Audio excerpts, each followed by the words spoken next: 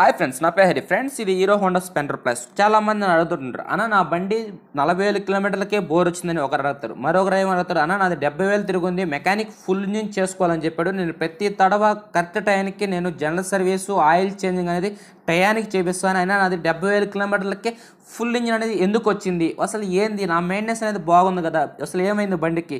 Mechanic ఏమన్నా ప్రాబ్లమా అనేది మనం తెలుసుకుందాం. ఫ్రెండ్స్ ఇది చూడండి. మనకి వన్ ఇయర్ బ్యాక్ బండి స్పెండర్ ప్లస్ బిఎస్ ఫోర్ బండిది. ఇది తిరిగిన రీడింగ్ అని చూసుకుంటే మనం పదిహేడు వేల ఎనిమిది వందల అరవై ఐదు కిలోమీటర్లు తిరిగింది. ఈ పదిహేడు వేల అరవై ఐదు కిలోమీటర్లని ఎందుకు అంటున్నానంటే ఈ బండి మెయింటెనెన్స్ పరంగా చూడండి ఎంత నీట్గా ఉంది బండి కానీ కొత్త బండి లాగా ఉంది అయినా ఈ బండికి ఏమైంది? ఫ్రెండ్స్ ఈ బండికి ఇంజిన్ నుంచి క్రాంక్ సౌండ్ వస్తుంది. ఏంది? పదిహేడు వేల కిలోమీటర్లకే ఇంజిన్ నుంచి క్రాంక్ సౌండ్ వస్తుంది. అసలు ఆ క్రాంక్ సౌండ్ అనేది ఎలా ఉంటుంది? ఏందని ముందు ఇందాం తర్వాత మాట్లాడదాం. ఓకేనా? మీరు క్లారిటీగా వినండి. నేను అనేది ఇప్పుడు బండి స్టార్ట్ చేసి ఇంజిన్లో ఏం సౌండ్ వస్తుంది చూపిస్తాను.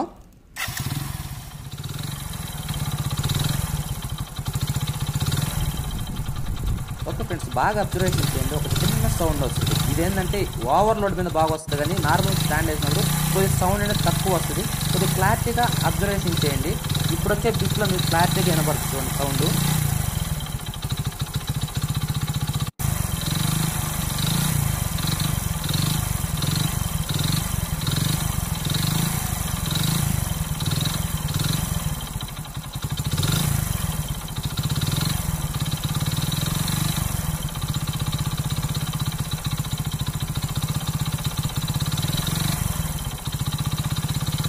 ఫ్రెండ్స్ విన్నారు కదా సౌండ్? అది మెయిన్ లోపల క్రాంక్ సౌండ్. అసలు ఎంత కొత్త బండి క్రాంక్ సౌండ్ అనేది ఎందుకు వచ్చింది?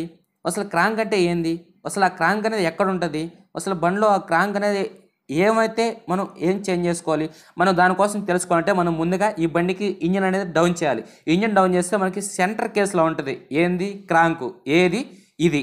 దీని పేరే క్రాంక్ అంటారు. ఈ క్రాంక్ అనేది ఇంజన్ సెంటర్ కేసులో ఉంటుంది. ఈ క్రాంక్ అనేది ఏమవుద్దంటే ఇది క్రాంక్ రాడ్. మనం చేంజ్ చేయాల్సిన రాడ్ ఇది. ఈ రాడ్ లోపల పిన్ను బేరింగు ఈ రాడ్ ఈ మూడు ఉంటుంది. అదేవిధంగా left side bearing right side bearing. ఈ రెండు బేరింగ్లు ఈ క్రాంక్ అసెంబ్లీలో మనం చేంజ్ చేసుకోవాల్సింది ఇది. ఓకే ఈ క్రాంక్ రాడ్ అనేది షేక్ వస్తుంది. దీని లోపల ఏమేమి ఉంటాయి అనేది మనం ఏం చేయాలంటే దీన్ని ఓపెన్ చేయాలి. ఓపెన్ చేసిన తర్వాత మనకి డివైడ్గా ఈ విధంగా వస్తుంది. ఓకేనా? Pin bearing rod. ఈ మూడు అనేది మనం యాక్చువల్గా చేంజ్ చేసుకోవాలి. ఎందుకంటే దీంట్లో నీడిల్స్ అనేది అరిగిపోద్ది పిన్ను బేరింగు రాడ్ ఈ మూడు సెట్గా వస్తుంది మనకి. కొత్త కొనుక్కున్నా సరే సెట్గా వస్తుంది. ఇప్పుడు ఏమవుద్దంటే ఈ రాడ్లో ఈ పిన్ బేరింగ్ ఎలా ఉంటుంది? దీనికనేది పిన్ ఇలా సెట్ అవుద్ది. మనకి ఏంటంటే ఇది రన్నింగ్ అవుతూ ఉంటుంది. ఎప్పుడైనా సరే మనం మ్యానుఫ్యాక్చరింగ్ పరంగా ప్రాబ్లం వచ్చినా సరే మనం ఆయిల్ లేట్ చేయడం టయానికి చేంజ్ అయిపోయినా సరే ఈ విధంగా వస్తుంది. దాంతోపాటు మనం ఈ ఇంజిన్ బేరింగ్లు అనేది చేంజ్ చేసుకోవాలి. కన్నింగ్ రాడ్ అదేవిధంగా ఇంజిన్ బేరింగ్ రెండు చేంజ్ చేసుకోవాలి.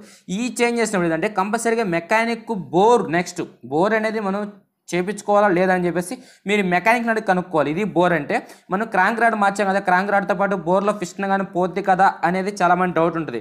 యాక్చువల్గా ఏంటంటే పోద్ది. ఇది పదిహేడు వేలు తిరిగింది కాబట్టి బండే కాబట్టి నేను బోర్ అనేది చేయడం లేదు. ఓన్లీ క్రాంక్ రాడ్ వరకే మార్పిస్తున్నాను. అది మీరు మెకానిక్ అడుగు కనుక్కొని బోర్ చేసుకోవాలా వద్దనేది దాన్ని బట్టి మెకానిక్ సజెషన్ బట్టి మీరు అనేది ఫాలో అవ్వాలి. నేనైతే ఈ బండికి బోర్ చేయడం ఓన్లీ ఈ క్రాంక్ రాడు అదేవిధంగా ఇంజిన్ బేరింగ్ వరకే చేంజ్ చేసి నేను ఇంజిన్ అనేది ఫిట్టింగ్ చేయడం జరగద్ది. మనం ఎప్పుడైనా సరే ఈ క్రాంక్ రాడ్ పోయినప్పుడు అలాగే వాడితే దానివల్ల ప్రాబ్లం అయితే ఏం లేదు మీకు బండి ఆగిపోవడం కానీ ఏం లేదు. టయానికి ఆయిల్ మార్చుకొని మీరు అనేది అలాగే వాడుకోవచ్చు. ఈ క్రాంక్ అనేది రెడీ చేయించుకోవాల్సిన అవసరం అయితే ఏం లేదు.